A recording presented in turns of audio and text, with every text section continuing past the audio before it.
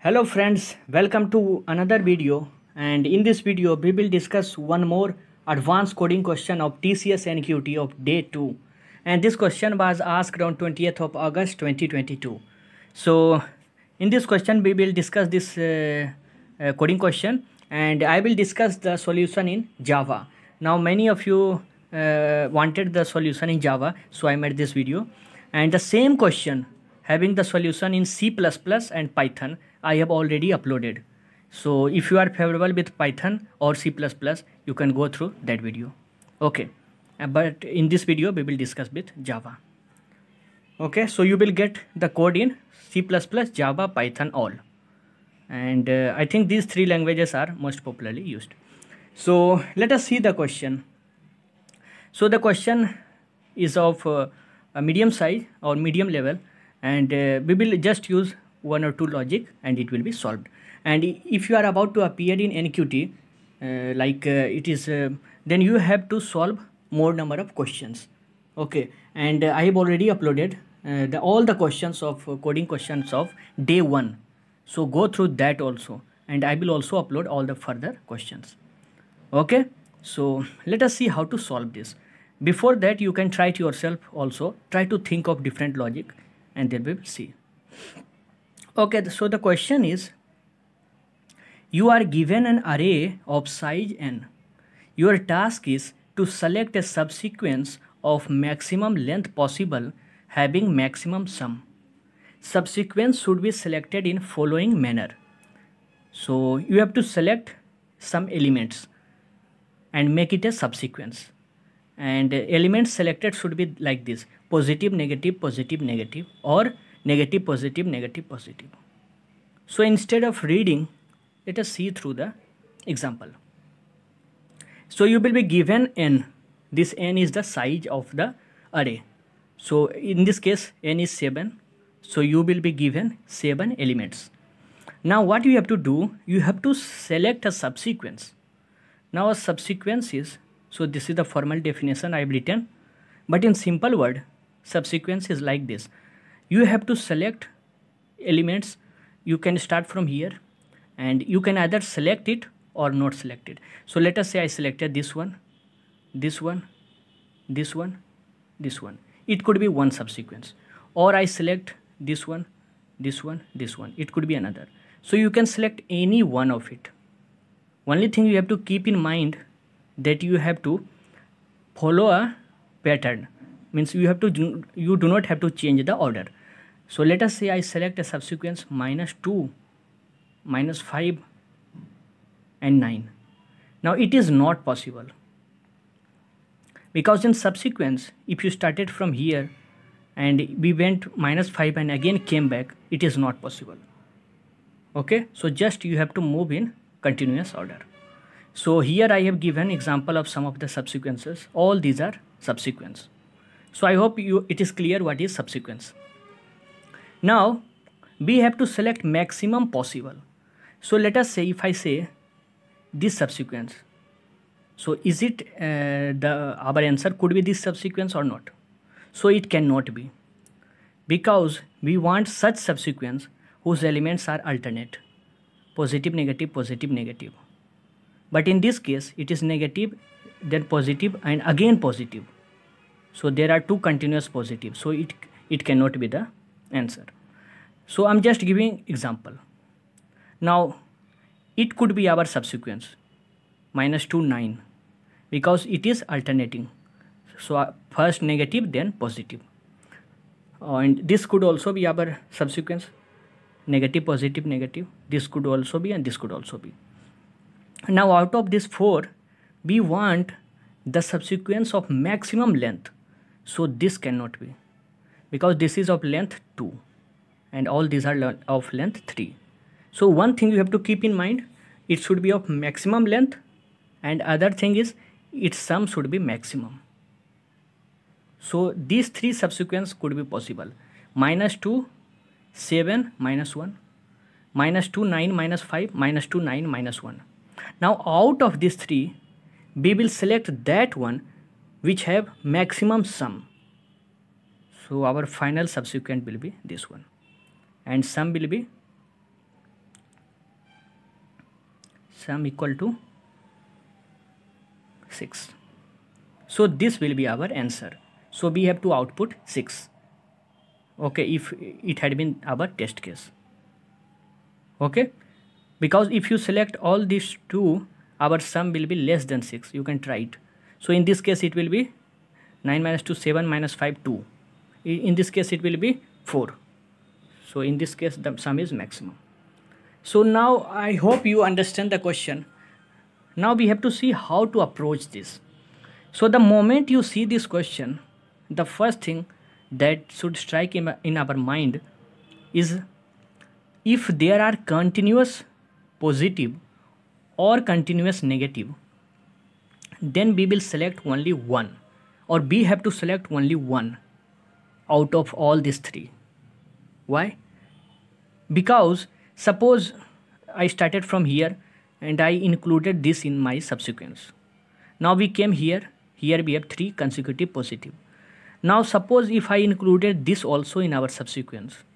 Now the moment you include this one more positive, then the sequence that we wanted, which is alternate, will be violated.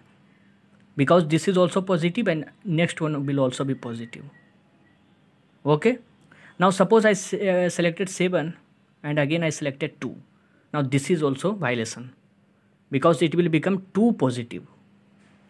So that's why I said whenever you have consecutive positive then it is confirmed that we will select one out of all this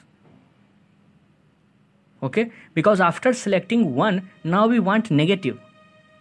So no need of all these things. The moment you selected 7 this 2 will not be applicable. Similarly if you have consecutive negative then we will select only one. Because the moment suppose I selected minus 5 if I again want to select minus 1 it will be violation of the condition which is alternate positive negative it will become two negative continuously. So this thing we will use. Now the question is okay. Now the question is okay i have understood that i have to select one. Now which one? So i hope it is very simple the maximum one. Because we want the sum to be maximum. So if I have options like 7, 9, 2, then why go for 7 if you have 9? Because by adding 9, we will have maximum sum. Similarly, for negative also, instead of adding minus 5, we will add minus 1. Because minus 5 will reduce our sum much. Let me give an example. So suppose up till here I selected minus 2 and 9. So up till here our sum is minus 2 plus 9, 7. Now we have to select one negative out of these two. If I select minus 5, our sum will be 2. If I select minus 1, our sum will be 6. So it's advisable to select minus 1. Okay. So in negative also, we will select the maximum one. So I hope it is clear. So these two things we have to keep in mind okay so by the, by following this only our question will be solved start from here select minus 2 out of this uh, 3 select 9 out of this uh, 2 select minus 1 and for 0 we will skip it. Because 0 is neither positive nor negative. So we will just skip it. So our uh, sequence will be this one. Minus 2 9 minus 1 so this was the logic. Now see the code.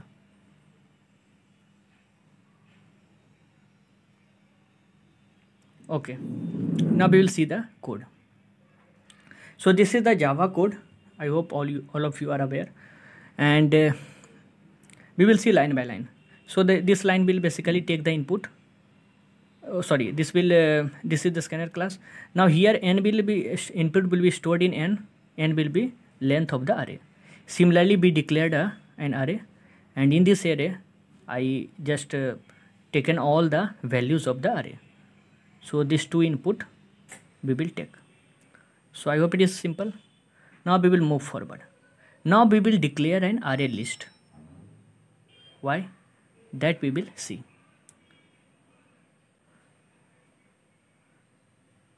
Now see how to code this. This by the logic now this is the code. So the code is simple. The array list that we have uh, declared here we will try to add elements one by one such that they are alternative in symbol negative positive negative so on. So we have uh, suppose we have this uh, l array list. So the first element we will push. Okay? So the first element we have added.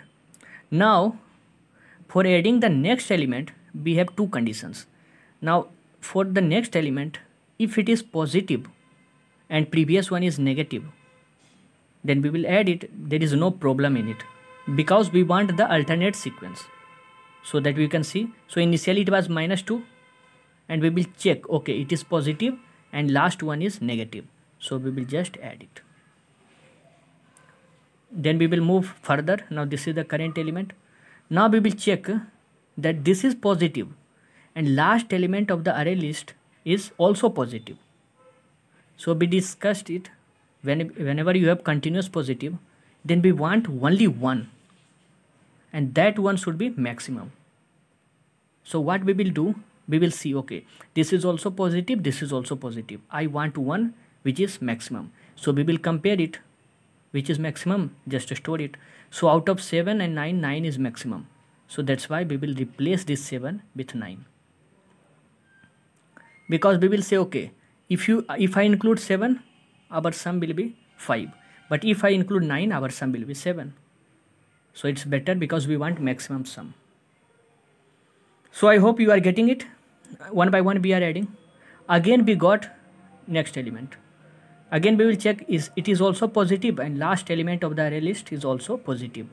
So which is maximum? So 9 is maximum. So no need of updation. Now we will move further. Now we came here. Now it is negative and last element is positive so no need to check anything just push minus 5 also. So we came up to here. Now we will check whether next now current element is minus 1 and last element that we have added is also negative. Now two negative cannot be together. So we have to put one. So out of this which one we will put? Which is maximum. So minus 1 is maximum. So we have put here. Because if I include minus 1 our sum will be more if I uh, then if I would have included minus 5 so see in this case we have included everything. The moment we came we encountered 0 we will continue. We will skip it. So this is the logic. And in code also I will do the same thing. So in the array list at first I will include the first element. And now starting from the second element index 1 we will move one by one. And this last index is basically to get the value of the last element. See because we always wanted the last element because from this only we have to compare. Okay?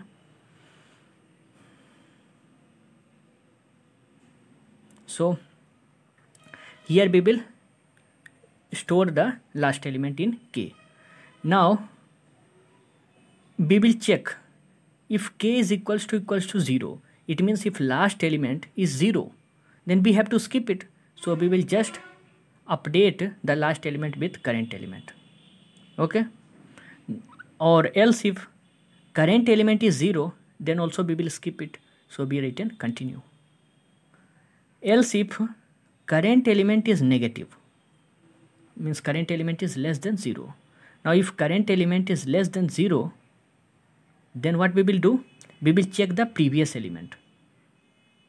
Okay?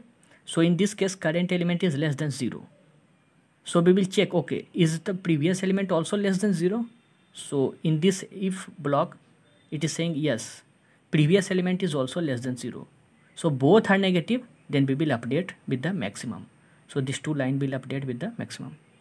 But if current is negative and k is positive like in else block then we will just add current element. Now same thing will go for here also. This else block is basically saying that current element is positive.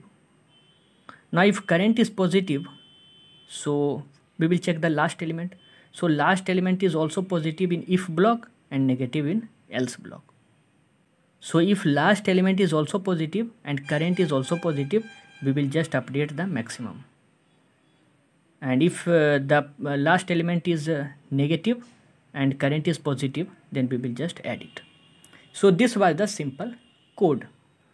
After adding all the elements a new subsequence will be formed and then we have to take the sum of it. Okay? So this is the subsequence of maximum length and we will take the sum. So same thing i'm uh, sorry same thing i am doing. One for loop will apply and we will take the sum of all elements of l. And that i have stored in answer and then i will print that answer. So this was the simple code all about. Now let me run this and run few test cases. Okay so let me provide some input. Suppose 4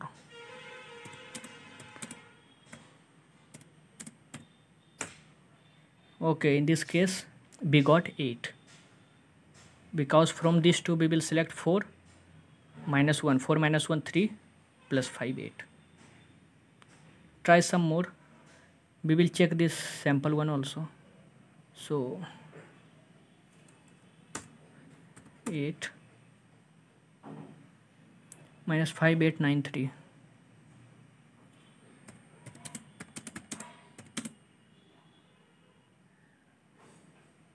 minus 2 minus 1 6 2